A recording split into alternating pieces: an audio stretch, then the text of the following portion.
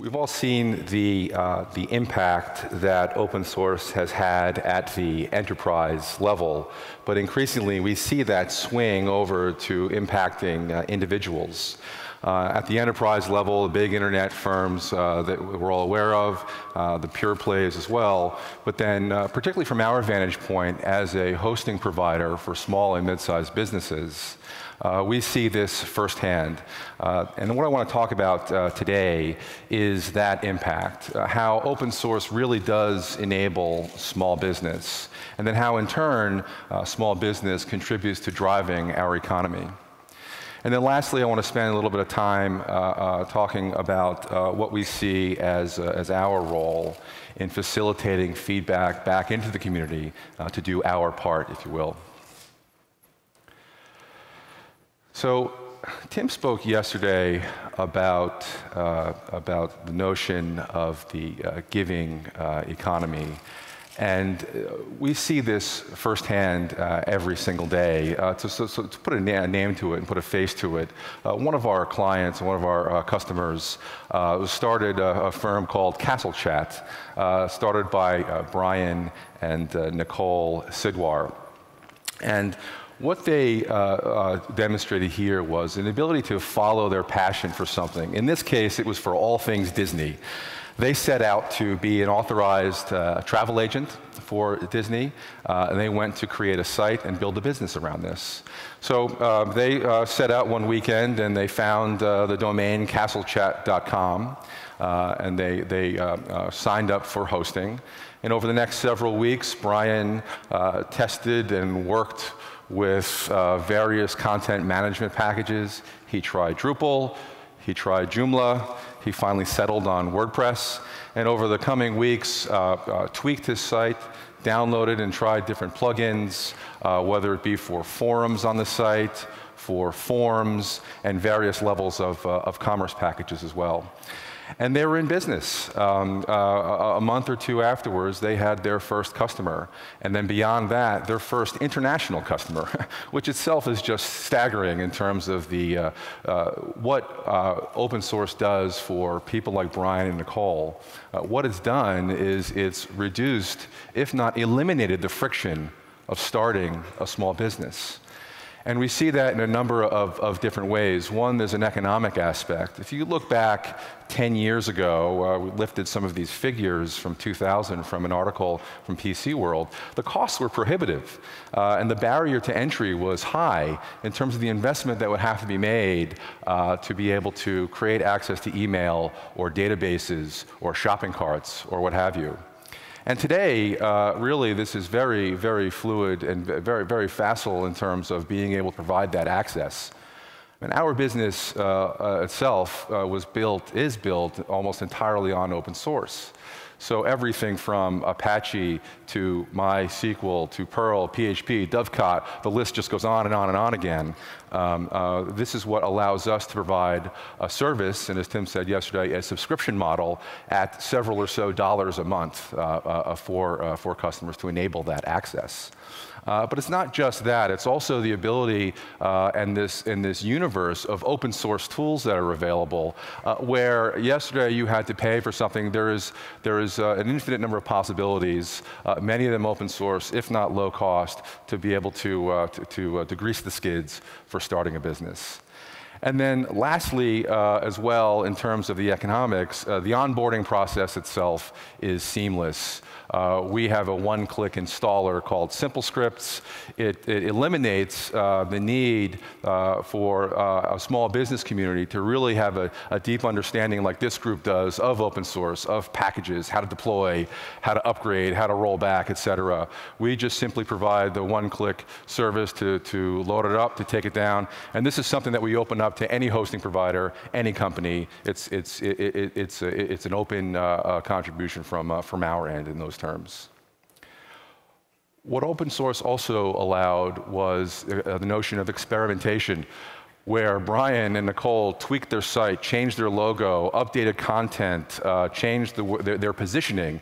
You think even further beyond uh, uh, 10 years or so ago, that would have been a commitment in a lot of print materials, a lot of brochureware, print advertising, et cetera. So the inertia uh, of, of, of, sticking to a plan uh, and, and, driving it forward really has been, has been uh, lubricated as well.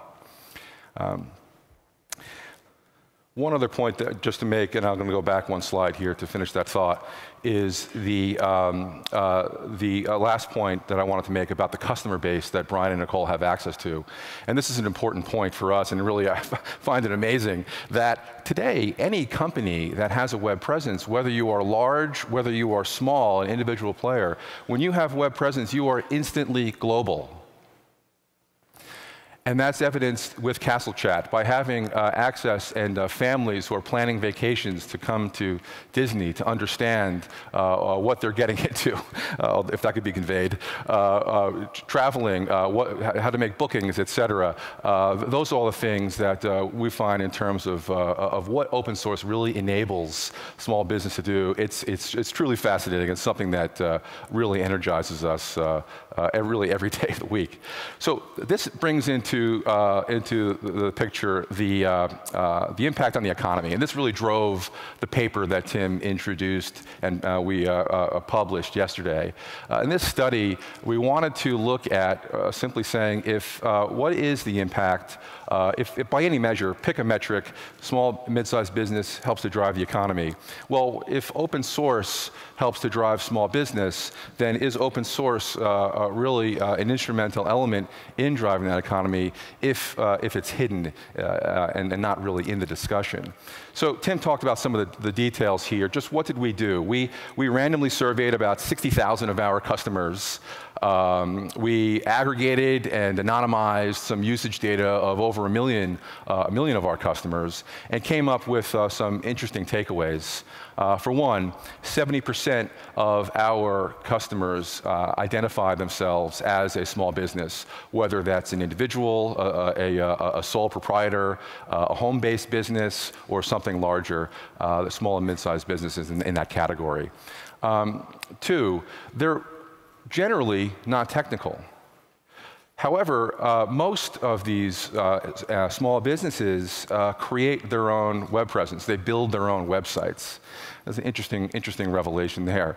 Uh, what do they use the sites for? Principally, they use it for information sharing, whether it's static content or dynamic content that's frequently updated. They use it for lead gen to, to acquire and attract customers, for brand building, and some element and notion of, of commerce. One out of five of these uh, users generates more than half of their revenue from, uh, from their website. Yet we see about 85% of them uh, generate less than $50,000 a year. So this is, this is a significant long tail here. And going over the math uh, uh, that you can read about exhaustively in the paper, this $1 trillion impact, just in pure flow through uh, uh, websites of small and mid-sized business, is alone uh, uh, really impressive, but probably understates the actual impact in terms of when you think about the leads that get generated. Perhaps there's a phone number on the site that somebody picks up and makes a, a purchase, or they decide to come in and visit your retail location, uh, to say nothing of, uh, as some of our customers do, the utilization of commercial commerce packages as well. So the, the impact is really, uh, uh from that perspective, uh, indisputable. What we then, uh, uh, in, the, in, the, context of the paper, and Tim spoke a little bit about the conversation with uh, Hari Ravichandran, uh, uh our CEO, and himself about what is the give back? Uh, what, is, what can we do having built this business off of open source? how can we continue to contribute to it? And we, we, we, really amounted to this notion that, that our responsibility is in sustained um, sustained commitment to the community.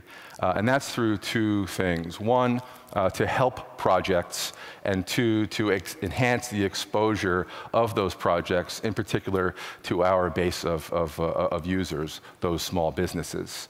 So what, what are we doing about that? I think the, the easy part, which we have done and we will continue to do, is continue to fund these projects. But what, what, really what we're doing in terms of being able to put a, put a sustained commitment to it is that we're putting resources uh, against this.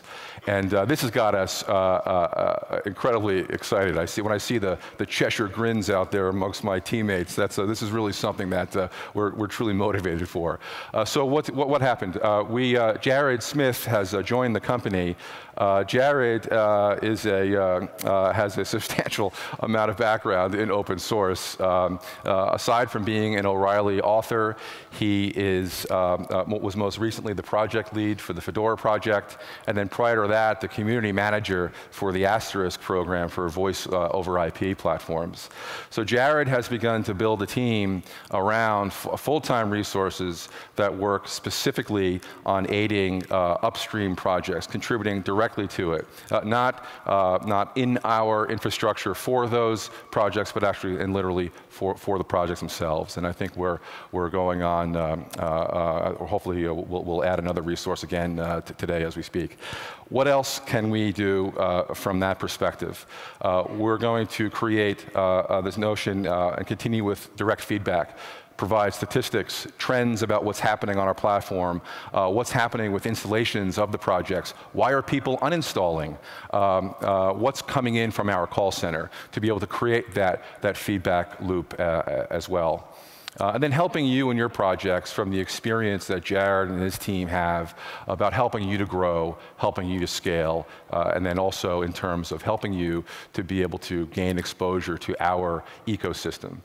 Our ecosystem has about, uh, we're approaching 3 million users on it. Uh, again, hundreds of thousands uh, of them uh, being small business, uh, like, like the ones we described earlier with Castle Chat.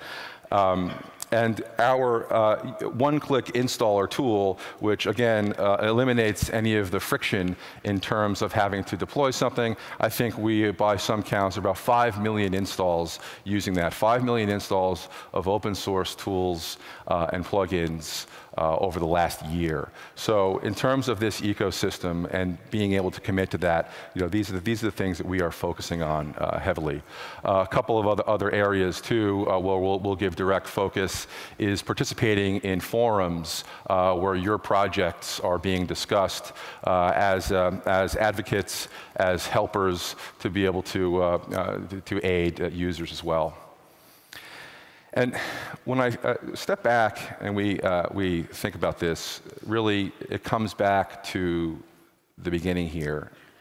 And the beginning is, and our commitment is that to continue to build the bridges from the open source community to small business, and then continue to invest in the relationships with the open source community on behalf of that business.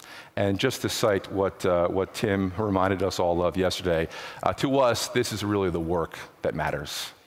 Thank you.